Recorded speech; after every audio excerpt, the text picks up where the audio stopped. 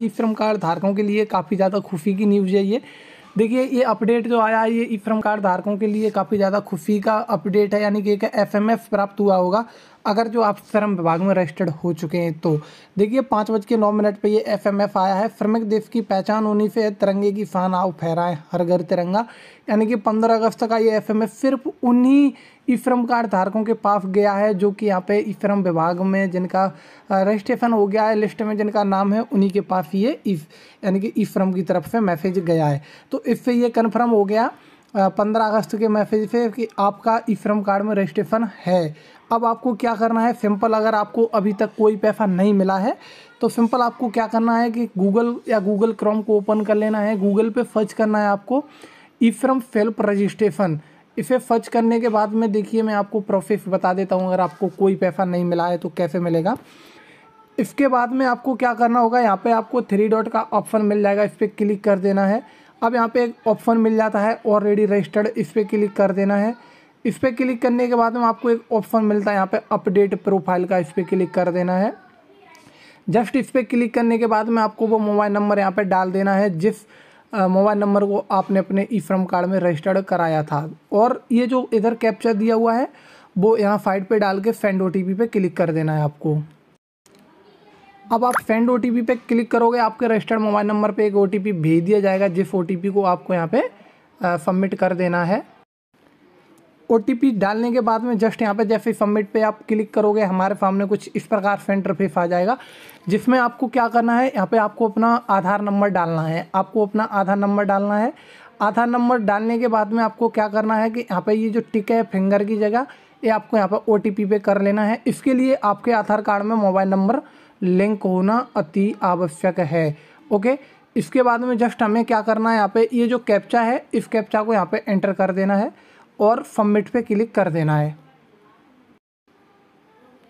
जैसे सबमिट पे क्लिक करोगे, यहाँ पे प्लीज़ वेट यानी कि अब आपके आधार रजिस्टर्ड मोबाइल नंबर पे एक ओटीपी भेज दिया गया है। यहाँ पे ये भी बता रहा है कि आपका जो आधार रजिस्टर्ड मोबाइल नंबर है, वो लास्ट में सेवन वन नाइन फोर है। आपका जो भी होगा, यहाँ पे बता दिया जाएगा। तो चलिए, मैं उस नंबर से यहाँ पे ओ लेके डाल देता हूँ। अब आपको सिंपल ओटीपी डालने के बाद में वैलिडेट पे क्लिक कर देना है। जैसे ही आप वैलिडेट पे क्लिक करोगे, अब देखिए आपके सामने कुछ इस प्रकार से आपकी पर्सनल जो पार्टिकुलर इन्फॉर्मेशन है, वो यहाँ पे शो हो जाएगी।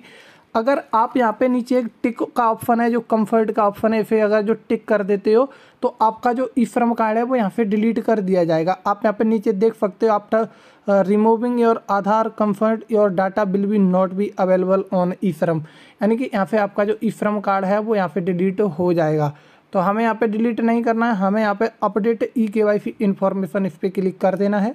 जस्ट इस पर क्लिक करने के बाद में कुछ इस प्रकार से इंटरफेस आ जाएगा, जिसमें ऊपर आपका नाम आ जाएगा और यहाँ पे एक ऑप्शन मिलता है अपडेट प्रोफ़ाइल इस पर आपको क्लिक कर देना है। जस्ट इस पर क्लिक करने के बाद में आपके सामने एक ऑप्शन आता है बैंक अकाउंट डिटेल्स, इस पर आपको क्लिक कर लेना है। अब आपके सामने यहाँ पे दो ऑप्शन आते हैं, यानी कि आप क्या इसे अपडेट करना चाहते हो, जो बर्गर डेटा इसे। तो यहाँ पे हमें एफ़ कर देना है। एफ़ करने के बाद में आपके सामने कुछ इस प्रकार इंटरफेस आ जाएगा, जिसमें आपका बैंक अकाउंट यहाँ पे फो करा दिया जाएगा, यानी कि जो भी आपकी बैंक है बैंक अकाउंट आप यहाँ पे मैच कर लीजिए और बैंक का नाम याद रखिए अपनी ब्रांच का कि कहाँ पर आपकी ब्रांच है। अब देखिए, इसके बाद में जस्ट आपको क्या करना होगा? यहाँ पे ठीक है, आपका ओके है तो आपको यहाँ पे लॉग आउट पे क्लिक कर देना है। ओके, मैंने लॉग आउट कर दिया है। अब देखिए, अब आपको यहाँ पे सिंपल गूगल पे U I D A I search करना है। यानी कि आधार कार्ड की ऑफिशियल वेबसाइट है, इसे आपको ओपन कर लेना है। साइट पे आपको थ्री डॉट का एक ऑप्शन मिल जाएगा, इस पर आपको क्लिक कर देना है। यहाँ पे क्लिक करने के बाद में माई आधार का ऑप्शन मिलता है, इस पर क्लिक कर देना है। इस पर क्लिक करने के बाद में आधार सर्विसेज़, इस पर क्लिक कर देना है। जस्ट इस पर क्लिक करने के बाद में नीचे आपको एक ऑप्शन मिल जाता है, आधार लिंकिंग स्टेटस। तो इस पर आपको क्लिक कर देना है। जैसे इस पर क्लिक करोगे, हमारे सामने कुछ इस प्रकार से इंटरफेस हो जाएगा, जिसमें हमें यहाँ पे अपना बारह डिजिट का आधार नंबर डाल देना है। नीचे दिया हुआ कैप्चा आपको ऊपर यहाँ पे डाल के और फ्रेंड ओ पे क्लिक कर देना है। अब आपके आधार रजिस्टर्ड मोबाइल नंबर पे एक ओटीपी जाएगा, जिससे यहाँ पे डाल के आपको सबमिट कर देना है।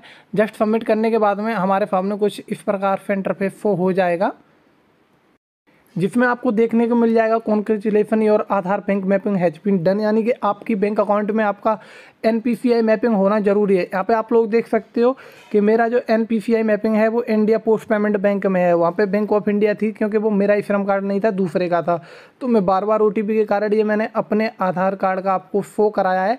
मैं आपको बताना चाहूँगा कि अगर आपका यहाँ पे एनपीसीआई मैपिंग अगर दूसरी बैंक में है तो यहाँ पे आपको प्रॉब्लम आ सकती है। इसीलिए आपका पेमेंट हो सकता है कि पेंडिंग में या फिर नहीं आया है। तो आपको क्या करना है कि जो बैंक अकाउंट आपका ई श्रम कार्ड में लगा हुआ है, उसी बैंक में आपको अपना एनपीसीआई मैपिंग करा देना है।